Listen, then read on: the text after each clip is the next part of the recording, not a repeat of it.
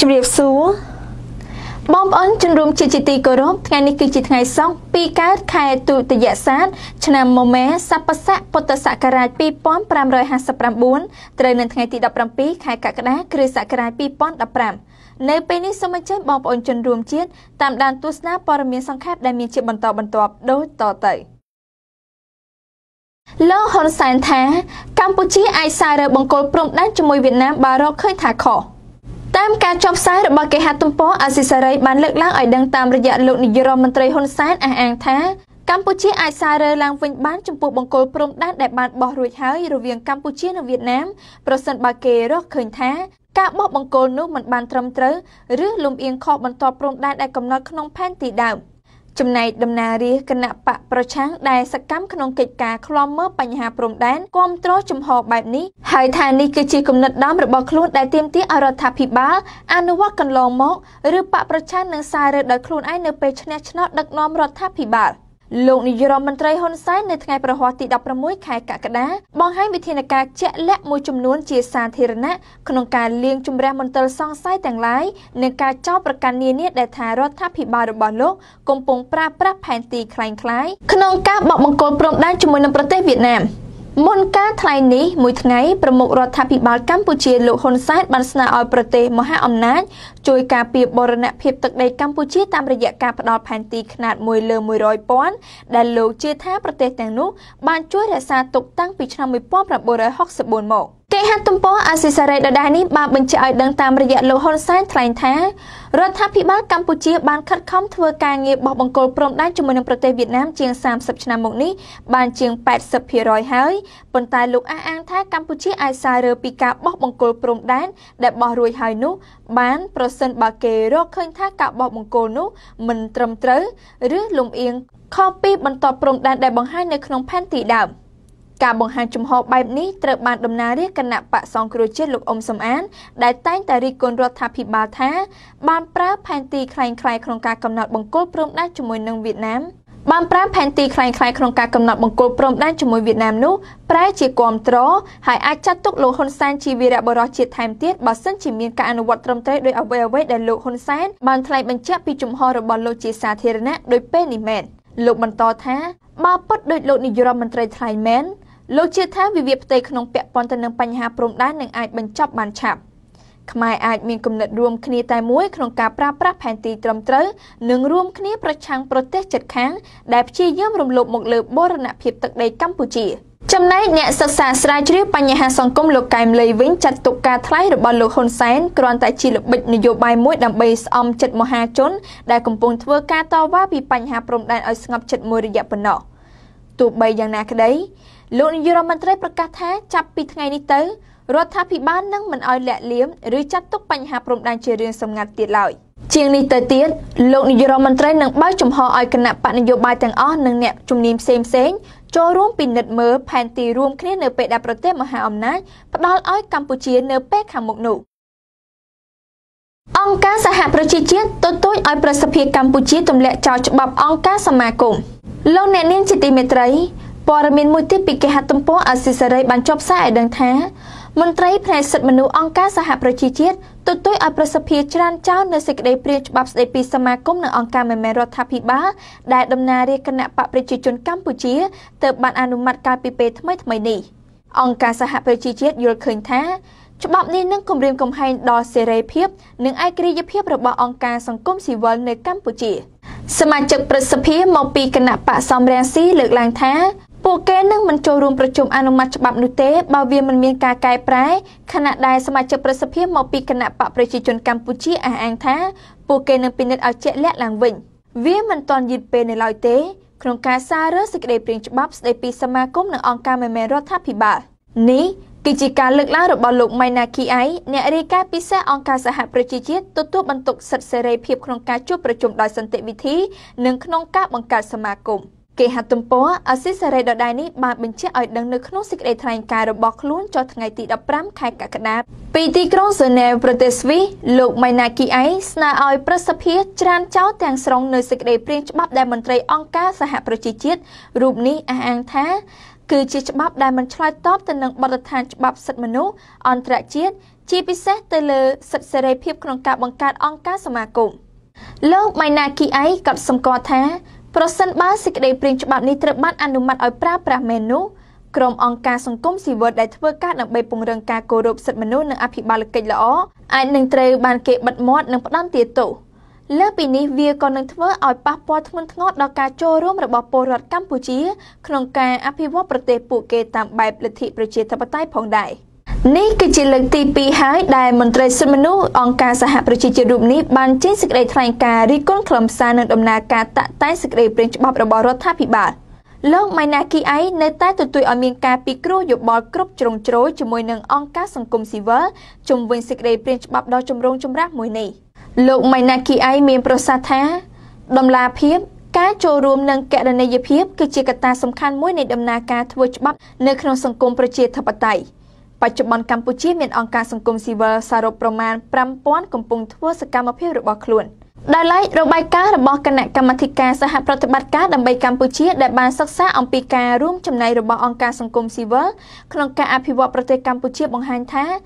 នៅឆ្នាំ2012ក្នុងចំណោមអង្គការជាង1300នៅកម្ពុជា អង្គការទាំងនេះបានអនុវត្តគម្រោងប្រហែល4000ដែលផ្ដល់អត្ថប្រយោជន៍ដល់ប្រជាជនប្រមាណ1លាន3សែននាក់ជាពិសេសតាមរយៈការងារក្នុងវិស័យអប់រំការបណ្ដុះបណ្ដាលកសិកម្មសុខភាពសត្វសុខាភិបាលអាហារូបត្ថម្ភជំងឺអេដនិងសិទ្ធិមនុស្ស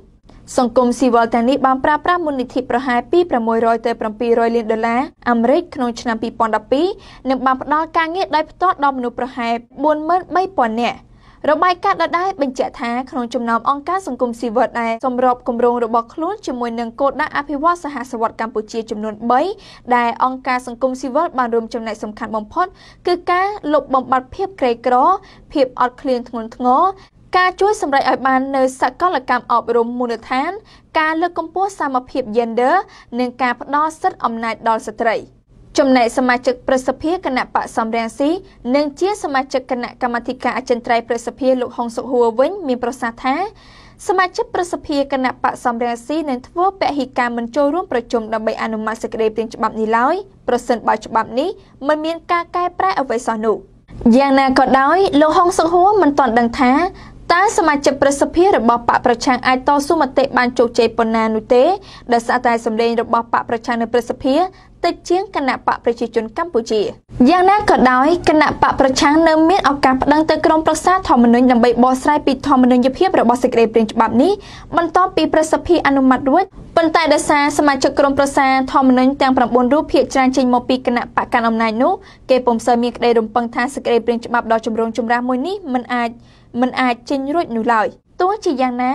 ក្រុមអង្គការសង្គមស៊ីវិលបានលើកឡើងថាពួកគេនឹងមិនបោះឆ្នោតឲ្យគណៈបកនយោបាយណាដែលបោះឆ្នោតគ្រប់គ្រងសេចក្តីព្រាងច្បាប់ដ៏ចម្រូងចម្រាសមួយនេះឡើយអង្គការសហប្រជាជាតិជួយជនជាតិភៀតតិចម៉ុងតាញ៉ា12នាក់ទៅវៀតណាមវិញបើយោងតាមគេហទំព័រ Cambodia Daily បានចុះផ្សាយឲ្យដឹងថាអង្គការសហប្រជាជាតិនិងសកម្មជនសិទ្ធិមនុស្សបានឲ្យដឹងថា កាលពីម្សិលមិញអង្គការសហប្រជាជាតិបានជួយសម្រួលដល់អ្នកស្វែងរកសិទ្ធិច្រកកោនជនជាតិភៀតតិចម៉ុងតាញ៉ាចំនួន12នាក់ដែលស្ម័គ្រចិត្តវិលត្រឡប់ទៅកាន់ប្រទេសវៀតណាមវិញបន្ទាប់ពីជនជាតិភៀតតិចម៉ុងតាញ៉ាមួយក្រុមនេះបានចំណាយពេលរស់នៅក្នុងរាជធានីភ្នំពេញអស់ជាច្រើនខែដោយរំពឹងថានឹងទទួលបានឋានៈជាជនភៀសខ្លួននោះ ជនជាតិភៀតតិចម៉ុងតាញ៉ាជាង160នាក់បានភៀសខ្លួនពីតំបន់ខ្ពង់រាបនៃប្រទេសវៀតណាមមកកាន់កម្ពុជា តាំងពីខែតុលាមកម្លេះក្នុងនោះភៀសច្រើនបានមកដល់រាជធានីភ្នំពេញជាទីដែលពួកគេកំពុងរងចាំនាយកដ្ឋានជនភៀសខ្លួននៅក្រសួងមហាផ្ទៃវិដំឡៃអំពីការស្នើសុំសិទ្ធិច្រកកោនរបស់ពួកគេគេហទំព័រ Cambodia Daily ដដែលនេះបានបញ្ជាក់ឲ្យដឹងតាមរយៈលោកស្រី Vivian Tan មន្ត្រីផ្នែកព័ត៌មានប្រចាំតំបន់នៃឧត្តមស្នងការអង្គការសហប្រជាជាតិទទួលបន្ទុកជនភៀសខ្លួន បានលើកឡើងកាលពីម្សិលមិញថាអ្នកស្វែងរកសិទ្ធិច្រកកម្មចំនួន12នាក់បានស្នើសុំជំនួយក្នុងការវិលត្រឡប់ទៅប្រទេសវៀតណាមវិញលោកស្រីលើកឡើងតាមរយៈអ៊ីមែលមួយថាដោយផ្អែកលើសំណើនឹងមូលហេតុពិសេសរបស់ពួកគេយើងបានជួយសម្រួលដល់ការវិលត្រឡប់ទៅកាន់តំបន់ខ្ពង់រាបភាគកណ្ដាលប្រទេសវៀតណាមវិញ របស់អ្នកស្វែងរកសិទ្ធិច្រកកោនជនជាតិភៀតតិចម៉ុងតញ្ញាចំនួន12នាក់បន្ទាប់ពីបានផ្ទៀងផ្ទាត់ថាពួកគេជ្រើសរើសបែបនេះដោយស្ម័គ្រចិត្តលោកស្រីបានលើកឡើងបន្ថែមថារដ្ឋាភិបាលវៀតណាមបានយល់ព្រមទទួលពួកគេហើយបានធានាថា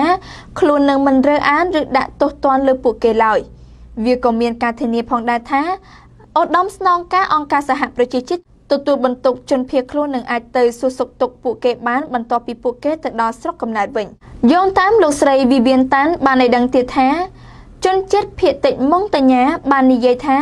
ហេតុផលដែលធ្វើឲ្យពួកគេចង់វិលត្រឡប់ទៅវិញគឺដោយសារការលំបាកនៅក្នុងប្រទេសកម្ពុជាលោកឆៃធីអ្នកសម្របសម្រួលនៅអង្គការសិទ្ធិមនុស្សអាត60ប្រចាំខេត្តរតនគិរីបានលើកឡើងថា មនុស្ស12នាក់ដែលបានត្រឡប់ទៅប្រទេសវៀតណាមវិញកាលពីម្សិលមិញនោះដំបូងឡើយបានភៀសខ្លួនទៅប្រទេសថៃហើយបានធ្វើដំណើរមកក្រុងភ្នំពេញកាលពីខែមេសា ដោយសង្ឃឹមថានឹងទទួលបានសិទ្ធិច្រកកោនយោបាយយោងតាមលោកឆៃធីបានឲ្យដឹងទៀតថាជនជាតិភៀតតិចម៉ុងតញ្ញាចំនួន19នាក់ផ្សេងទៀតដែលបានធ្វើដំណើរពីប្រទេសថៃមកដល់រាជធានីភ្នំពេញបានវិលត្រឡប់ទៅប្រទេសវៀតណាមវិញហើយ ក្នុងរបាយការណ៍មួយដែលចេញកាលពីខែមុនអង្គការឃ្លាំមើលសិទ្ធិមនុស្សបាននិយាយថាអាញាធរវៀតណាមកំពុងអនុវត្តកម្មវិធីជាប្រព័ន្ធដើម្បីចាប់ខ្លួនឃុំខ្លួននិងធ្វើធារុណកម្មដោយផ្ដោតលើជនជាតិភៀតតិចម៉ុងតញ្ញាដែលជាមូលហេតុបង្ខំឲ្យពួកគេឆ្លងព្រំដែនអង្គការការពារសិទ្ធិជនជាតិភៀតតិចម៉ុងតាញ៉ាដែលមានមូលដ្ឋាននៅសហរដ្ឋអាមេរិកអះអាងថា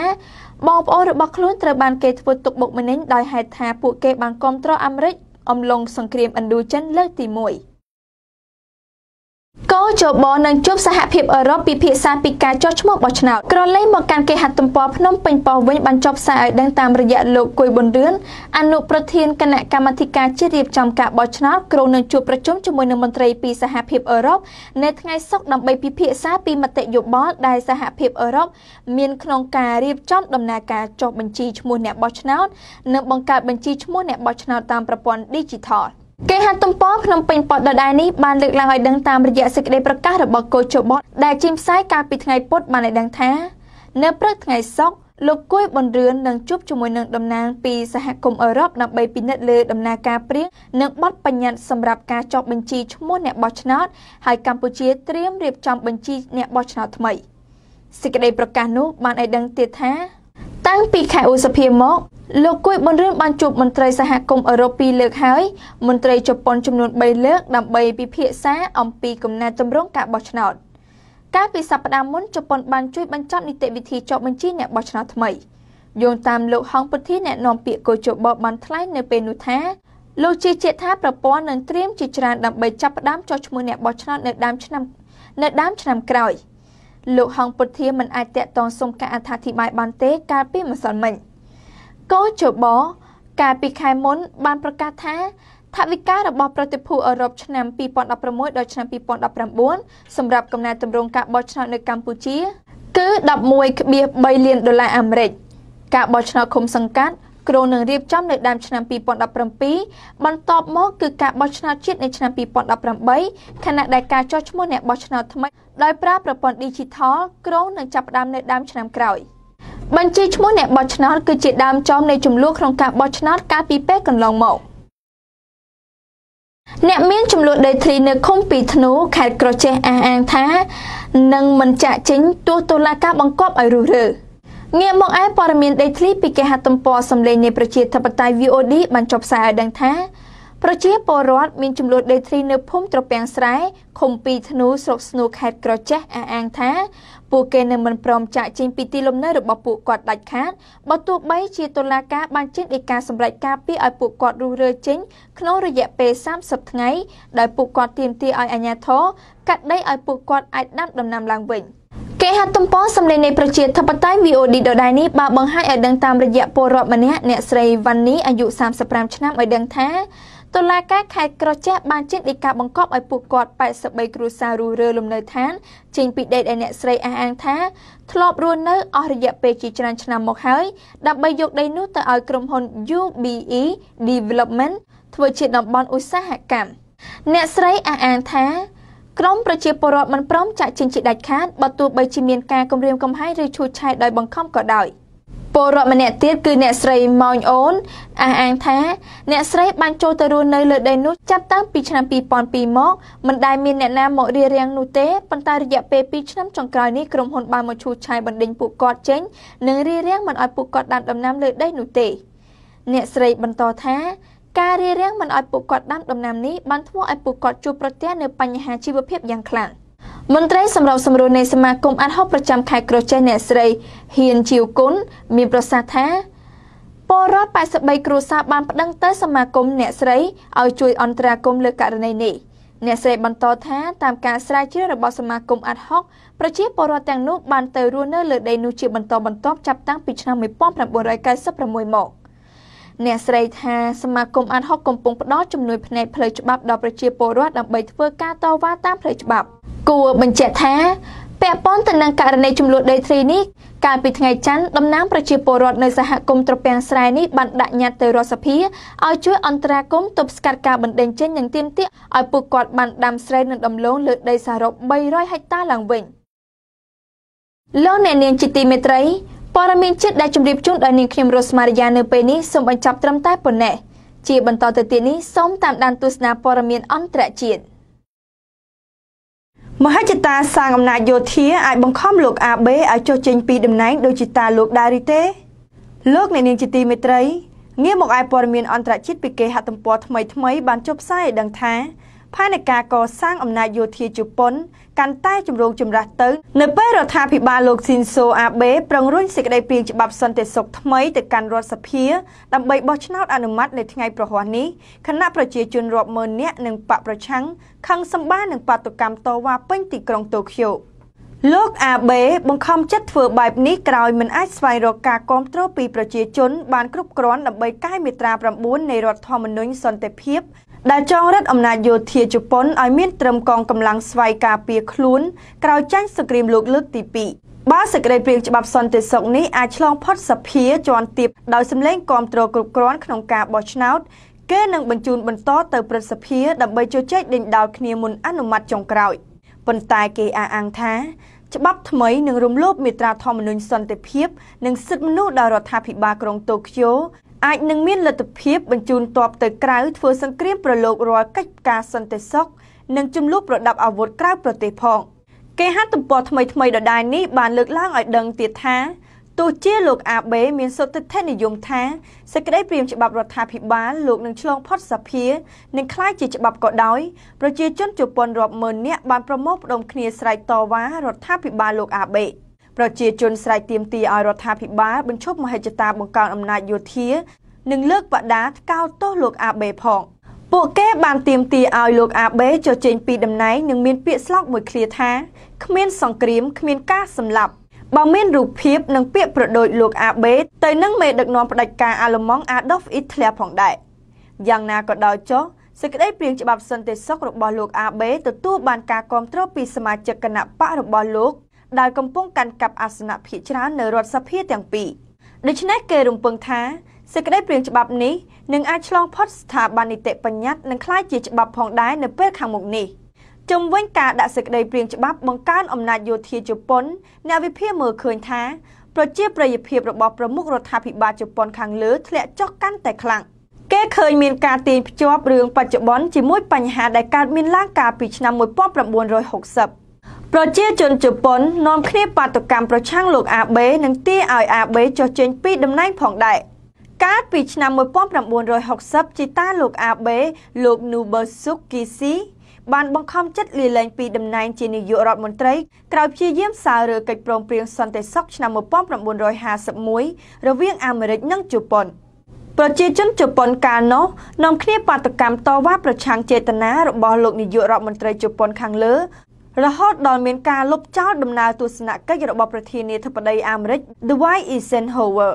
ចុងក្រោយ លោក Nu Bersuk ក៏បានសម្រេចចិត្តប្រកាសលាលែងពីតំណែងផងដែរលោកអ្នកនាងជាទីមេត្រីព័ត៌មានសង្ខេបរបស់ក្រុមការងារនាងខ្ញុំនៅពេលនេះបានមកដល់ទីបញ្ចប់ហើយនាងខ្ញុំយូច័ន្ទធានីសូមថ្លែងអំណរគុណយ៉ាងជ្រាលជ្រៅចំពោះលោកអ្នកនាងដែលបានតាមដានទស្សនាកម្មវិធីនេះតាំងពីដើមរហូតដល់ទីបញ្ចប់ សូមអរគុណ សូមគោរពលា